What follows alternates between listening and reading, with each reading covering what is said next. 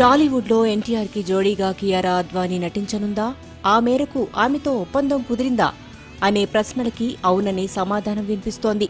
ఇప్పటికే ఈ బ్యూటీ మహేష్తో భరత్ అని నేను సినిమా చేసింది. ఈ మూవీ భారీ విజయాన్ని అందుకుంది. అయితే చరణ్తో జోడీగా చేసిన వినయ విధేయ రామ మాత్రం నిరాశపరిచింది. ఈ రెండు సినిమాల తర్వాతనే కియారా బాలీవుడ్లో బిజీ అయింది.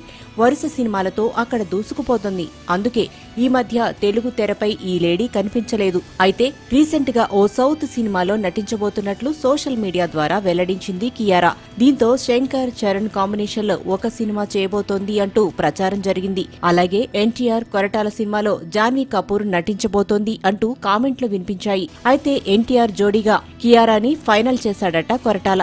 ఈ సినిమా కోసం ఆమెకు మూడు కోట్ల పారితోషికం ఆఫర్ చేసినట్లు సమాచారం. పూజ హెగ్డే రష్మిక తీసుకునే పారితోషికం కంటే ఇది చాలా ఎక్కువ కావడంతో ఈ మ్యాటర్ ఇప్పుడు ఫిల్మ్ నగర్లో హాట్ టాపిక్గా మారింది. మొత్తానికి ఒక పక్క స్క్రిప్ట్ పనులు కొనసాగిస్తూనే నటీనటుల ఎంపికపై దృష్టి పెట్టాడు కొరటాల.